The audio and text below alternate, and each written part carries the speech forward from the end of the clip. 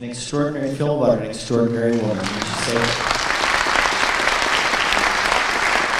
Come on out, gentlemen. Meet Randy Schmidt, the, the writer and producer of both the book and the film.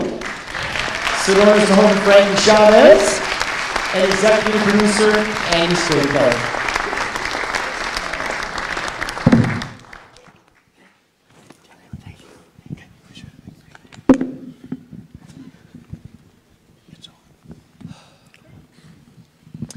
I'm going to fire the first couple of questions, uh, and, and, then I'll take it down to the audience.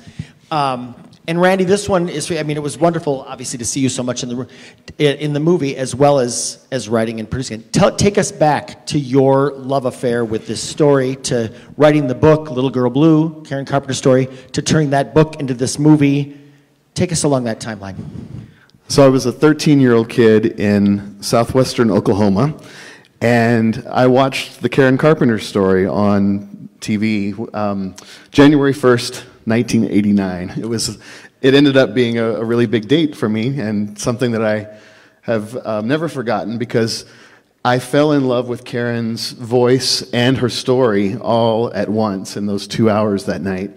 And um, the next day, I found myself in the public library and I was starting to research never with the idea of a book or a film or anything like that. It was just for my own curiosity because I had missed the Carpenters, having been born in their heyday, I had missed them um, firsthand. And so I had lots to learn and lots to catch up on. And um, sort of a, a, really cool first uh, full circle moment was um, two weeks ago when we had the premiere at the Santa Barbara International Film Festival. I got to walk the red carpet with both Cynthia Gibb, who played Karen in the TV movie, and Barry Morrow, who wrote that screenplay. So they are the ones who introduced me to her in the first place, and we got to have that opportunity together, so that was really special. That's extraordinary. And tell me about the thought process of turning this. How did this all come about that the team put the movie together based on the book and you know what I mean. I'll try and do long story short. There you go. At some point in um, in my college years, I became the internet carpenter's guru, and sort of helped to orchestrate bringing all these Carpenters fans together from all around the world with an internet mailing list when that was a thing, and. Um, all of them thought they were the only ones, and then they found out there were thousands of others around the world. And it was through the encouragement of a lot of the people that I met there that I continued to research and I ended up getting the opportunity to do a lot of interviews, still not knowing what I was going to do with them. And that's what became the basis for the book Little Girl Blue that came out in 2010. And then I met Andy. Um, do you want to take that part of it over? I'm a little older than Randy, so I grew up with Karen and I loved her as a teenager. Um, and my friends were playing rock and roll and all that, and I was the nerd that loved the Carpenters. But uh, I live in Dallas. I run a media company, and I bought Randy's book back when you could buy books, and read the book. And it wasn't until a couple years later that I realized he is a school teacher in Denton, Texas, a primary school teacher, and he still is a primary school teacher. So. I got together with Randy and I realized what an amazing amount of information a man has. So, about four years ago, before the pandemic, we started this project and luckily had finished most of the shooting right when the pandemic started. We spent the last three years putting it together. So, it's one of these passion projects that we both decided to do and launched into it with all our hearts. Well, it was so beautiful to see that you were able to get Olivia Newton-John, and she was looking so beautiful, and then, and then, you know, sadly we lost her. Uh, you had such incredible archival footage in this, and of course the recordings of Karen herself. None of us have ever heard. How did you get a hold of that? Where did all that come from? A lot of times I would just have a snippet of maybe a radio interview that I knew it existed, and then me being the resourceful researcher that I was, I would seek it out and find out if the raw recordings still existed. A lot of times I would contact radio DJs or whoever had done these, and um, often enough that, you know, as, as evidenced here, we, we came up with some really great stuff. So just over a period of 20, 25 years, I've collected this stuff and um, I'm really grateful to the, the people who allowed us to use the recordings because it really gives Karen a voice that I don't think she's ever had in her own story. It really does. It really does. I'm going to go down to the audience with a question, but I have to address the elephant in the room. Richard was was was, and I I, I know they're going to ask it, so I figured I would.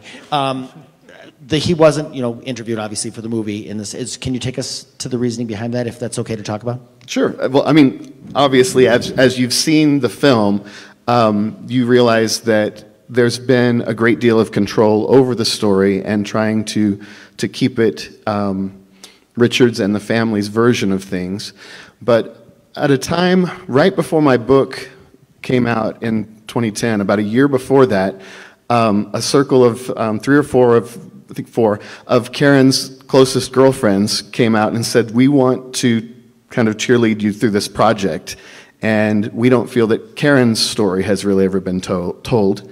So, including Olivia Newton John and um, Phil Ramone's wife, you know, Phil's represented here with the solo album, and um, Karen's day to day best friend, a woman named Frenda, they, um, they all kind of came on board and, and um, said, let's do good for Karen. Let's, let's get her voice out there and not necessarily the, the, the Carpenter's um, family version of this. Because some of them, like Frenda, her best friend, hadn't even been interviewed for the, um, the authorized Carpenter's biography. And she was her best friend and matron of honor in her wedding and everything. So um, we, we knew obviously that um, the way I, I'm sure Richard isn't a fan of my book because it did reveal a lot of of um, you know, sensitive family topics and things like that. Um, and we knew that with his participation, if he were for some crazy reason to have joined us, um, that it would have come with the same editorial control that had, had come along with these other projects along the way. So we thought maybe it would be kind of self explanatory there. It's also important to realize this is truly an independent documentary. I mean, nobody funded this. We funded it ourselves. And we wanted to tell Karen's real story. And the only way to do that was to talk to people, you know, like Frankie and others who knew her, find all these tapes where she's speaking, you know, the words she wanted to speak. And there was no varnishing on that. I mean, it's really that's what it is. Yeah, we intended it to be an unauthorized documentary and didn't go into it with the goal of let's get this authorized. uh, since you brought up Frankie, Frankie, take us back to high school with Karen Carpenter, what she was like before the Carpenters. Wow. Um, you know, she was, I would call her very wholesome. She wasn't heavy. She, uh, she had a great sense of humor. She loved life, and she had a focus that none of my other classmates had. And that's what propelled her to be such a, I would say, a great drummer. Female or male, it doesn't matter. She could sit in a room with any players. And uh, so I was very proud of that. I was proud of the fact that I was able to work with her. And in marching band, it was it was like being in a petri dish, basically, because marching band music is very, uh, for drummers at least, is very physical. Uh, not only that you're marching and carrying this drum around, but the velocity in which you have to play the drum. And it helped her with her technique. And I sat with her on several occasions and worked with her technique. Stuff that Buddy Rich showed me I was very fortunate to be mentored by him, and that knowledge I'll carry forever. And she was very receptive to it and took to it like a duck to water. Beautiful. I think it's important to realize that we, none of us would be here watching this film if it was not for this man teaching Karen how to play drums. I mean, that is unbelievable that I, I stand in awe of what you did, Frankie, and, and the stories that you're able to tell. And that's what filmmaking is, right, Patrick? I it mean, absolutely is. able to find a story that has all these roots. It's like, that's connected to this, which is connected to this, which is connected to this. And that's what we really tried to do in a documentary.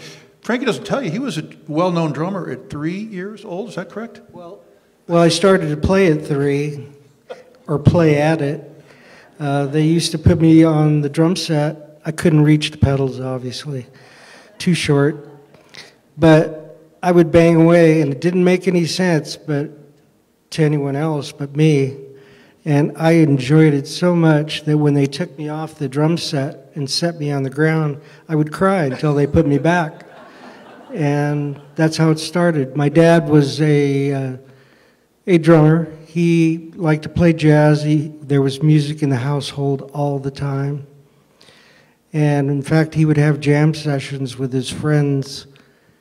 And it would be it would go into four or five in the morning, and I'd be out there with my head up against the bass drum. How I slept, I don't know, but uh, it it that was my roots. You know, just watching my dad perform, and uh, he introduced me to music, and I'll always be thankful. We, we found out another not so exciting uh, Sedona connection, but her ex husband Tom Burris lives here in Sedona. Um, some of you may know him. Maybe he's in my audience. Are you here, Tom? You know him. Oh, you're not Tom. You got. You're. But um, but yeah. So that's that's yeah. Unfortunate or unfortunate, however that that looks, we do have another Sedona connection to this film.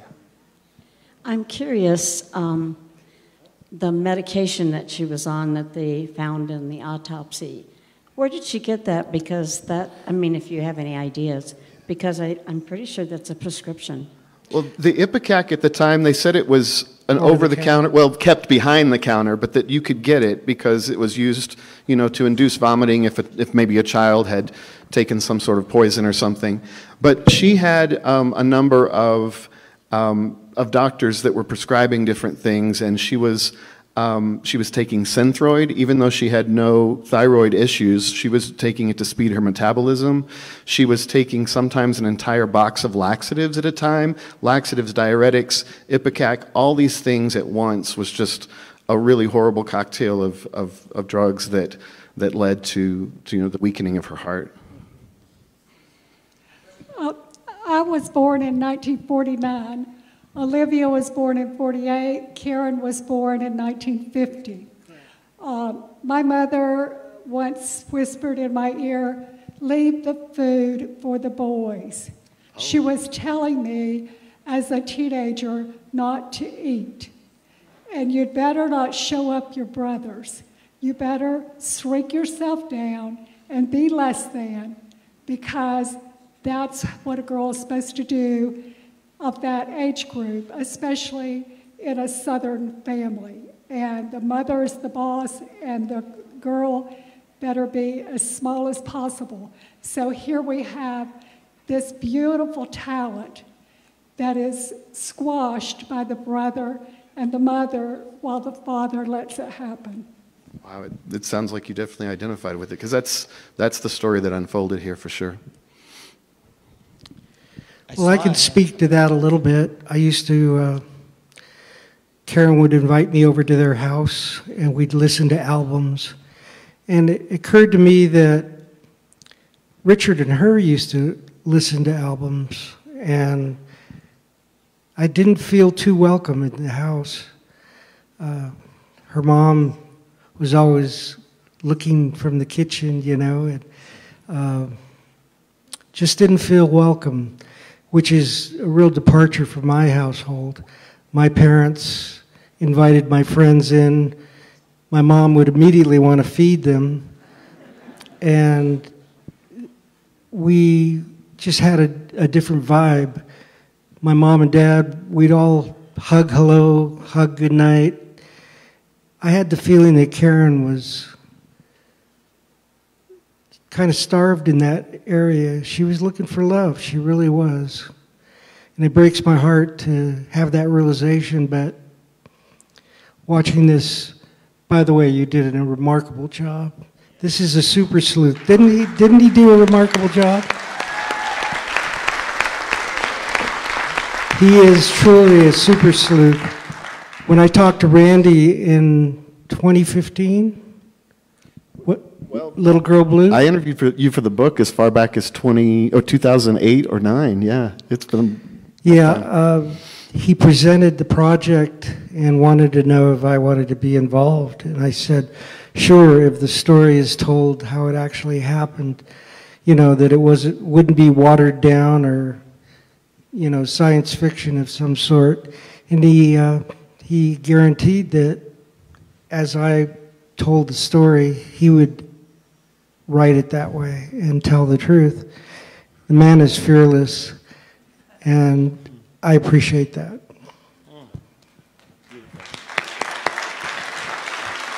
Tell, tell us about Carnie Wilson and how you discovered her whole connection to all of this, because that was such a beautiful, and she was a baby when, when Karen was popular. Uh, Yeah, she- talk about, about. I mean, obviously she's from a famous family. She's famous herself. Absolutely. How did she in, div, get this? I know she recorded Merry Christmas Darling at one point, um, and I've seen some other interviews where she talked about her fascination with the Carpenters, and it was just enough for us to reach out. That's all I looked for in some of these these these people, like with Kristin Chenoweth and Belinda Carlisle, just a mention of you know I was inspired by, or I grew up listening to, or I sang close to you in the hairbrush and that kind of thing. And Carnie ended up being such a strong interview, and she's so passionate about it.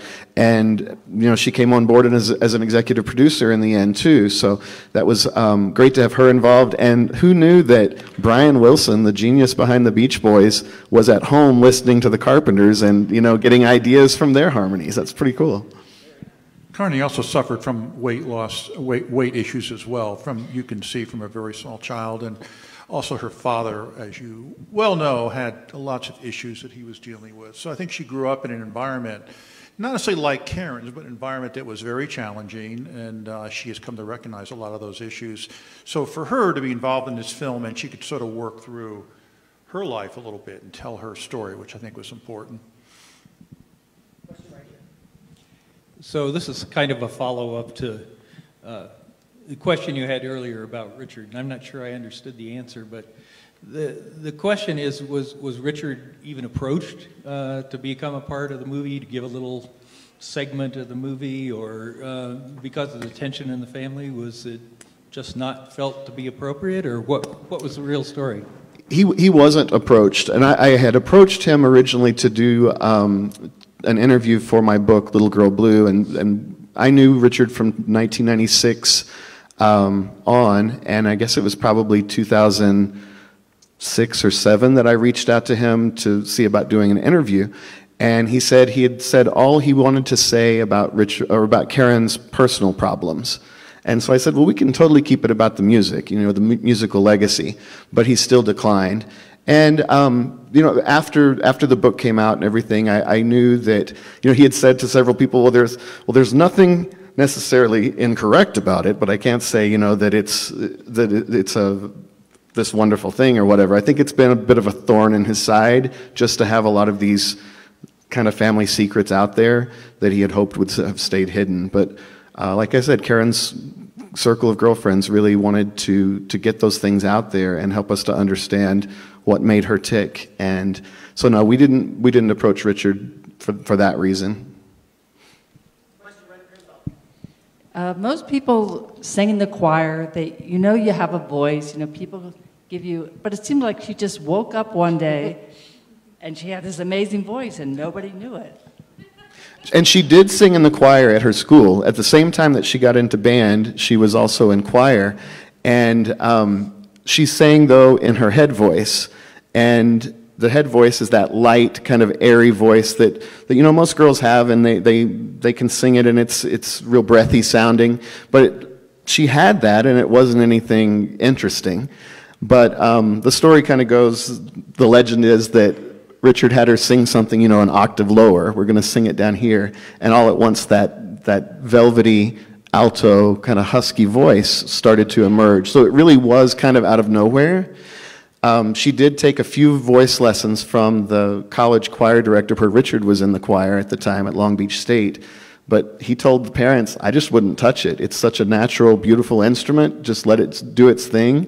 And it very quickly, you know, refined and a lot of those rough edges smoothed out and became what it was by the time she recorded Ticket to Ride and Close to You.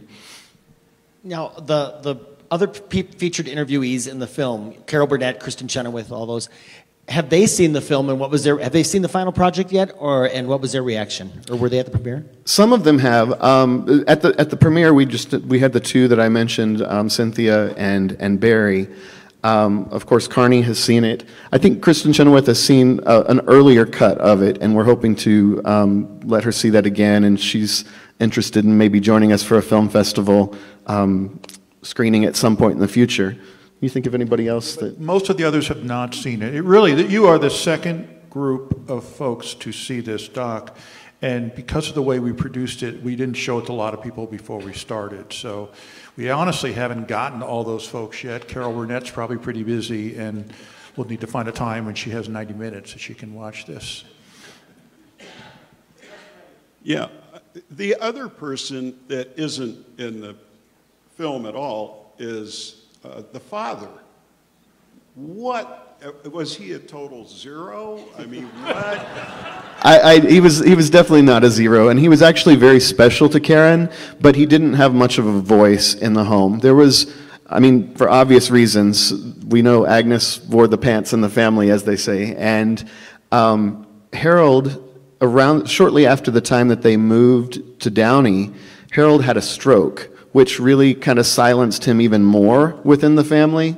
And so Karen was very protective of him and very close with him, and. Um, but it, there's really not much known about him because Agnes was such a dominant force and the one that everybody thinks back to. Good evening. Um, I have a personal connection to the Carpenter family, uh, although very brief. My wife, and now of almost 50 years, and I, in 1972, uh, when I was repping uh, with a A&M, I was in the, the radio business as a college kid and we were able to go backstage and meet them. Mom and dad were there. I just never thought anything about why are mom and dad here. Shook their hands. How are you? Nice to meet you. And my wife Gloria here and I met them and I said, Karen, what are you doing next year, July 7th? And she, she said, why? I said, we're getting married. Would you sing at our wedding? And she was so sweet, and she said to me, I don't know what we'll be doing then. I'm not sure, but I'll probably be booked. And I just thought it was so sweet, and uh, really miss her. I love, love, love her music, and always will. That's a neat connection. You know, we have people that um, say, oh, well, we had the Carpenters, we've only just begun at our wedding, or they played that at my graduation, or the Carpenters were my first concert. And so we're hoping that this documentary will, will reach out to, to that level of fan as well, because you have the diehards that are waiting for anything new that might come out about Carpenters, but we do hope that it gets out to those people who have special memories of it like that.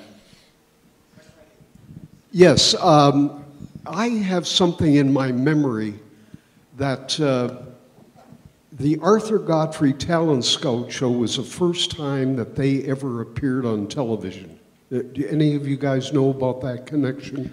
You know, the All American College show that showed Karen at the drums, and they, they announced them as the Dick Carpenter Trio, that was an Arthur Godfrey production, and they ended up coming back onto that show even after they became Carpenters and um, played Ticket to Ride, which was their first single. So, yeah, that, they were um, they won several levels of that competition on the All American College show and then came back as sort of celebrity guests later on. Hey, Randy, thank you very much for all this. Um, I'm one of those diehards that lived through the era with the Carpenters and uh, saw the resurgence with the movie. And I'm so grateful brought you into the fold and then as one of those people who like to learn everything we can, it's so awesome to see this uh, all these years later. And I know Karen must be looking down thinking, that's fantastic. You know, and you're, you've been her voice, and I want to thank you for that. Thank you. Thank and you. I, so much. I remember the internet thing you, when you were sending the messages, and I really treasure your book. And thank you for Great. everything you do. You're part of the legacy. Thank you so much. We appreciate it.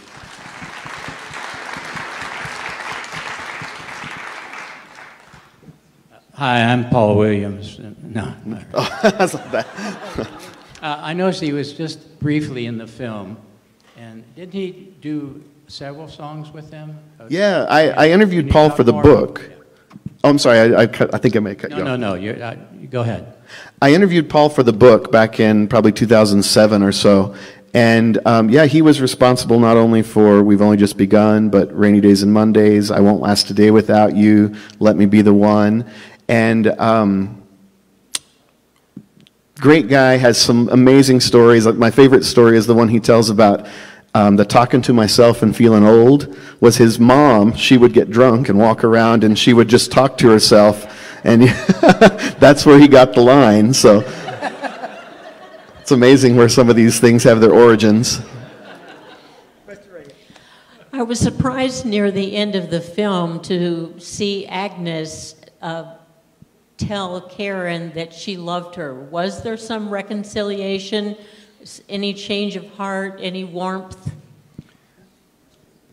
Um, you know, Barry Morrow, who wrote that scene in the film, said that as far as he knows, no, there was nothing that really came from that. That that, that was a scene that was described to them. One of Karen's best friends was in on that, that session as well. And, um, you know, he tapped Agnes's foot like, you need to go ahead, it's your turn, because the dad said it and Richard said it, and they tapped her foot, and she said, we're from the north, we don't do things that way. And um, so he, he said that it was really more of a, um, he said it was out of whole cloth, that it was just something that they, they felt that the movie couldn't end with, you know, that sad of an ending, that there had to be some kind of moment. And like he said, that's filmmaking, that's storytelling. Well, I thoroughly enjoyed the film. It was wonderful. Um, I'm curious, um, and I loved Carnie Wilson's. Um, her interview was fantastic. Um, did Karen ever release her solo album? Not during her lifetime, unfortunately. Um, the, the album went back on the shelf in 1980 at the time that she had finished recording it. Um, in 1996, so 13 years after her death, after enough urging from fans, you know, A&M Records was still getting letters at that point saying, release the Karen Carpenter solo album. And Richard finally agreed to let that happen. So the album is out there, and um, thanks to the the leaking of the internet, there are about, I think, nine or so outtakes from the album that have also surfaced over the years. So it's really a, a wonderful look into just her exploring. People will ask, how do you feel about the album? Or do you think it's, you know, is there a hit on it or whatever? And I don't think it matters. It's never meant to be, you know, the next We've Only Just Begun. It was her exploring and, you know, feeling, feeling her way through, um, through music. And, and I think that's what's special about it, is it was her. Oh, you want to? Sure. Uh, I had the pleasure of seeing Karen in concert twice. The first time she was young, full of energy, and you know the great performances that made them such that gave them their success. The second time was in Lake Tahoe. She was thin, and my first thing that I was thinking, how can she drum, play the drums and uh, sing uh, so much with so much energy because she was thin. And you uh, interviewed many people who had exactly the same uh, statement that, uh, that I noticed. And it, again, it's a tragedy for everybody. Yeah, it was fascinating to see what she could do even at, at her at her weakest sometimes. So I've we've got. I'm, I'm going to give the microphone to Rob because he has a really good idea that I've never in 19 years of running the festival ever heard, and I think it's a beautiful way to do this. Rob, tell him your idea. Thanks for the setup. So it just came to me, we're all a bunch of old people that grew up with this song. And I thought it would be fitting. I, you're not musicians. I mean, you, I want. I'm actually want- an elementary music teacher. That, he said I was a primary school. I, I teach elementary music. So the, Do I need to give us a pitch or something here? We need to channel Karen and sing one of her songs together. I've got queued up close to you on my phone. I'm going to hold it up to this, and I thought it would be to sing one of her songs that we would remember.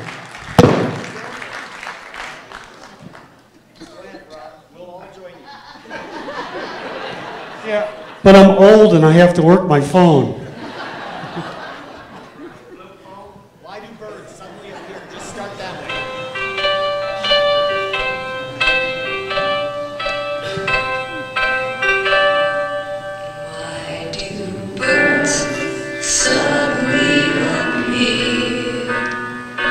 Yeah.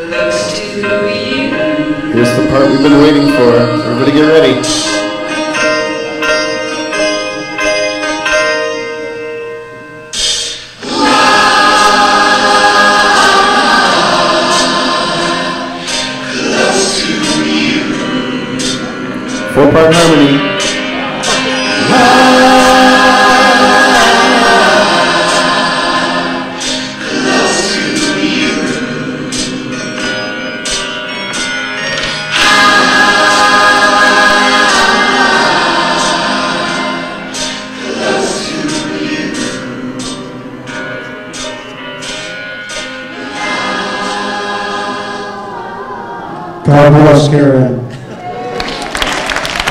Rob, thank you. That was the perfect way to end this evening. Wow. The guys are going to be out on the red carpet if you have any more questions for them, but I want to come over. John Gans, stand up. I just owe you a big hug. We have this film and these glorious people because of this man right here. Thank you, John. Very, very. Yeah, John. Thank you very much. Thank you all for being here so much. Don't forget to vote. Karen Carpenter, Starving for Perfection. Follow us on KarenCarpenterDoc.com. That's the website for the film, and we'll be posting all sorts of things on it, maybe even a little bit of this. And we will always remember, Patrick, the time that you sang to us. We're not going to get this, I think, ever again. So, yeah, I bet Santa Barbara didn't do this for you, no, did they? absolutely not.